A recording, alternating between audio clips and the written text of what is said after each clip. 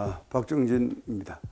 오늘은 그, 그 비극, 우리가 이제 연극 중에서도 비극이 있죠. 비극과 비극적인 삶, 이게 약간 대칭되는 겁니다만, 거기에 대해서 얘기를 좀 해보겠습니다.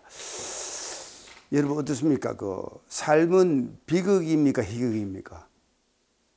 근데 대체로 제가 이제 주변에도 한 물어본 적이 있는데, 아, 비극이 많더군요. 어, 아무래도 삶은 비극이라고 느끼는데 그 사이사이에 좀 희극이 있다. 이런 식으로 보는 게 좀 중론인 것 같아요.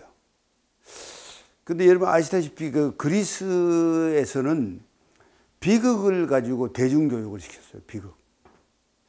근데 어떻게 생각하면 비극을 가지고 왜 대중교육을 시키나 이렇게 이제 반문해 볼 수 있어요. 비극. 비극 별로 좋은 것도 아닌데 인생을 뭐 비참하게 느끼라고 비극을 보여주는 겁니까? 아니죠. 그죠? 그 근본적으로 인간이 이제 삶이라는 게 미래를 알 수 없고 알 수 없잖아요. 미래 다 알고 있는 사람 없죠. 알 수 없는 가운데 살아야 되잖아요. 그 삶을 개척해 나가는 거라면 그러면 역시 이제 좀 고통과 아, 비극이 있을 수밖에 없어요. 근데 비극을 비극을 가지고 공부를 하면 비극의 공연을 바라보고 공부를 하면 비극을 막을 수 있단 말이에요.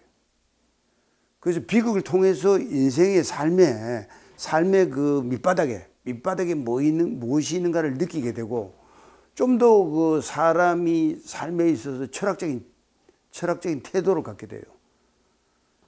그럼 말하자면 뭐 비극이 좋아서가 아니라 삶에 대해서 진지하게 생각하는 그 습성이 생기게 된단 말이에요. 그러면 어쨌든 간에 유비무환이라고 비극을 어느 정도 막을 수 있어요. 아, 이렇게 이렇게 하면 비극적으로 삶이 이제 전개될 거니까 아, 그렇게 안 해야지 이렇게 생각할 수 있는 거죠. 근데 비극을 공부를 하지 않으면 비극적인 삶을 살게 됩니다. 이거 재밌죠? 비극을 공부를 하면 사, 사전에 공부를 하면 비극을 막게 되고 그런 공부를 안 하면 자기 삶 자체가 비극이란 말이야. 아, 비극적인 삶을 살게 돼요. 어떻게 보면 이제 비극이란 게 철학적인 위치에 또 있는 것 같습니다. 비극을 통해서 사람이 이제 사유를 하게 되고 철학을 하게 되면 오히려 삶에서는 그 이제 그렇지 않은 방향으로 나갈 수 있단 말이에요. 어, 삶에서는. 그래서 그 비극이 철학이라면 비극을 공부하지, 공부하지 않는 철학을 공부하지 않는 민족, 민족은 비극적인 삶을 살게 된단 말이에요. 참 그, 그게 모순 관계에 있어요. 여러분 어떻습니까? 우리가 한국 사람의 경우에 비극을 공부를 합니까? 저는 비극을 공부해 본 경험이 별로 없어요. 제 생활 주변에는 비극적인 상황을 많이 봤어요. 뭐 우리가 저도 그 6.25 동입니다만은 제가 국민학교 시절에 뭐 그 학교 가면 도시락도 못 사오는 학생이 뭐, 뭐한 반 이상이었어요. 그 비극 아닙니까? 아, 애들이 점심을 먹어야 크는데 공부도 할 수 있는데 그 도시락을 못 사올 정도가 그건 굉장히 비극적인 상황이죠. 비극적인 삶은 주위에 봤는데 제가 비극을 공부해 본 적은 없는 것 같아요. 보면. 제가 철들어 가지고 비극이라는 연극에 대해서 오히려 공부하게 된 것은 뭐 그리스 비극을 이제 보면서 이제 시작이 됐어요. 흔히 아시다시피 소포그레스의 그 오이디푸스 왕 같은 게 비극의 절정 아닙니까? 비극의 대표적인 작품인데 그걸 보면 인간이 자칫하면 비극의 어, 그 순환, 비극의 쳇바퀴에 빠져가서 자기 삶을 망칠 수가 있다는 생각을 하게 됩니다. 그래서 그 오히려 비극을 공부하면 비극을 막을 수 있다 이렇게 보는 거죠. 근데 비극을 공부를 하지 않으면 실질적으로 비극적 삶을 살게 돼요. 뭐 그런 생각이 이제 그 언뜻 들었습니다.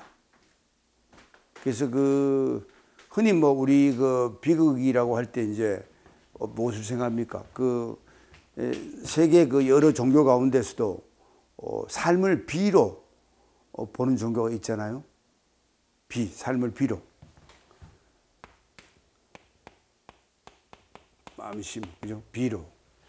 삶을 비로 보는데 왜, 왜 비극이냐, 왜 삶이 비극이냐 이랬을 때 이제 그 고통스럽다. 이제.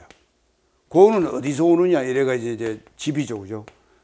어디 집착해서 고가 오기 때문에 이제 비극이다. 이 거꾸로 말하면 인간이 어디 집착하기 때문에 아, 비극을 초래한다는 거죠. 그래서 그 이 아시다시피 여러분 불교는 자비로 하잖아요. 자비, 자비.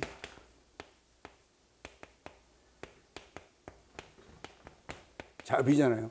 우리가 말은 자비라 하는데 사실은 이런 비극의 논리로 보면 어떻게 됩니까? 비자가 되죠, 비자. 비극을 미리 알아야 되죠. 왜 비극인가? 왜 고통스럽다 말 인생 삶이 왜 고통스러운가와 먼저 같은 말이에요. 집착을 하기 때문에 고통스럽다. 그래서 비극이 일어난다. 그죠? 그래서 근데 자비를 해야 된다. 불교는 자비가 이제 최정점이죠. 목표죠. 근데 비극이 있기 때문에 삶이 비극이기 때문에 자, 이게 이제 우리 뭐 자라는 게 사, 사랑이라는 뜻과 똑같습니다. 그죠? 사랑. 삶이 비극적이기 때문에 사랑을 해야 되는 거예요. 거꾸로 말하면. 그 어떻게 보면 이제 불교의 완성은 말은 자비지만 비자로 가야 돼. 비극에서 자로 가야 돼. 내 삶은 비록 비극적이지만은 남을 사랑해야 되고 나도 사랑해야 되고 자기 사랑하는 게 중요하죠. 자기 애라는 게 중요합니다. 자기를 사랑할 수 있어야 남도 진정으로 사랑할 수 있어요. 자기를 사랑할 수 있어야 자기를 희생하고 남도 사랑할 수 있단 말이에요. 그래서 아, 결국은 보면 자비의 목적은 비극을 깨닫고 삶이 고라는 걸 깨닫고 고의 원인이 집이라는 걸 깨닫고 이제 자 사랑으로 가야 된다 이런데 이렇게 보면 뭐 그 불교의 논리가 아, 기독교 논리가 뭐 거의 같습니다. 근데 이상하게도 그리스에서도 비극을 통해서 그죠? 비극을 통해서 그 그리스 사람들을 교육을 시켰단 말이에요. 그 뭔가 통하는 게 있지 않습니까? 비극을 통해서 남을 사랑하는 쪽으로 가는 게 인간의 삶의 완성이라는 걸 좀 우리가 읽을 수 있습니다. 근데 이제 비극에서 교육을 받지 못하면 이제 그 비극적인 삶을 살게 되는데 비극적인 삶을 사는 사람들은 사이사이에 그냥 삶이 하도 고달프니까 어떻게 됩니까? 사이사이에 희극을 끼워 넣습니다. 그게 광대입니다. 그러니까 비극과 비극 사이에서는 이제 그 희극을 끼워 넣는 거죠. 희극은 원래 희극은 원래 약간 그 냉소적입니다. 희극이 기쁠 희자인데 어, 뭐 희로애락할 때 희자인데 그 저게 사실은 좀 냉소적이에요.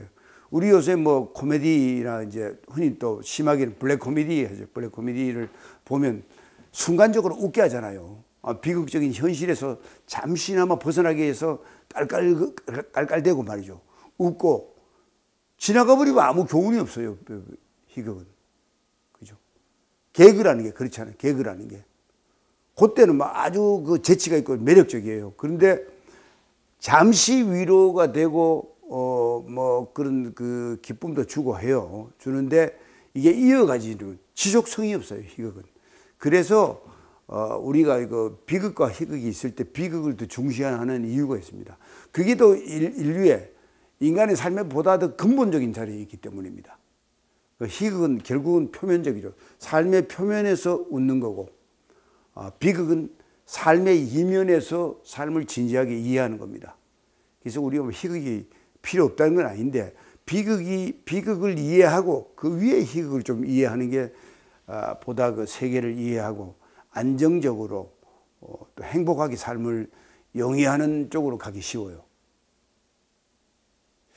그래서 그 이 비극에서 교육을 받아야 비극에 대한 교육을 받아야 비극적 삶을 살지 않는다는 걸 이제 제가 얘기 드리고 싶은 겁니다.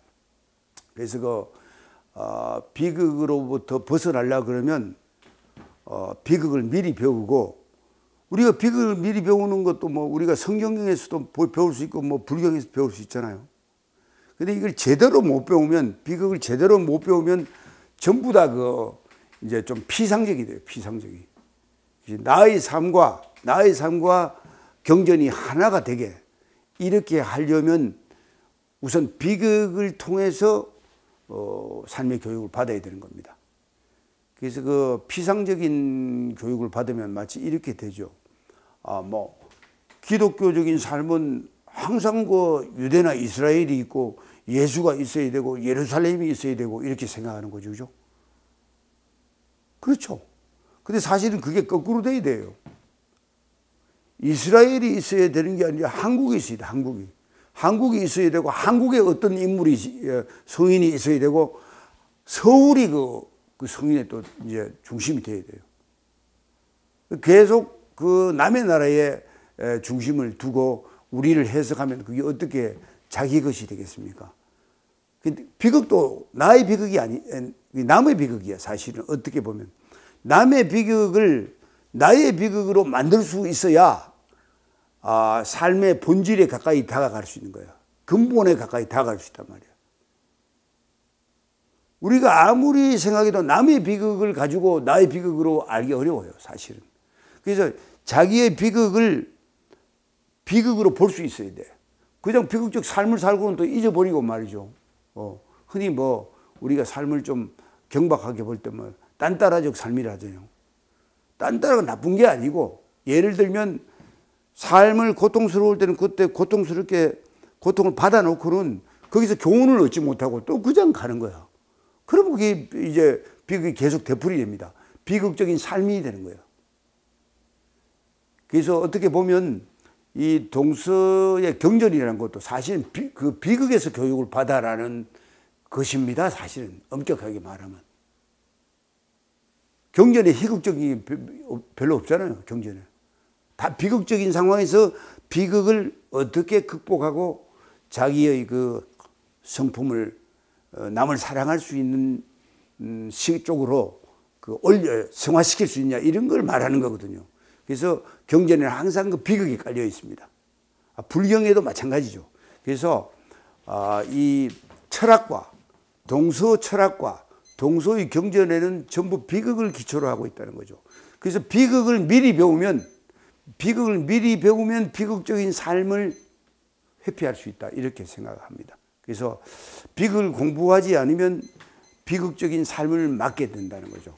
그, 그래서 그 비극을 통해서 미리 인생의 교육, 삶의 교육을 받으면 아, 비극을 막을 수 있다는 것이 됩니다. 아마 한국은 그동안에 아무래도 비극을 공부하기보다는 비극적인 삶을 살았지 않나 이렇게 생각이 듭니다. 앞으로는 이제 그게 거꾸로 돼야 되겠죠. 미리 비극을 공부해야 되겠죠. 비극적인 삶을 살 것이 아니라. 그래서 앞으로는 어, 비극에 대해서 또는 뭐 어, 동서 경전에 대해서 공부를 할 때 그 본질, 본질적인 것에 대해서 공부를 하고 어, 하는 그런 습관을 들여야 할것 같습니다. 그래서 어, 비극적인 삶으로부터 우리가 이 탈출해야 됩니다. 이제는. 그래서 그래야 이제 밝은 미래를 맞을 수 있을 것 같습니다. 오늘은 그 비극과 비극의 삶에 대해서 말씀드렸습니다. 감사합니다.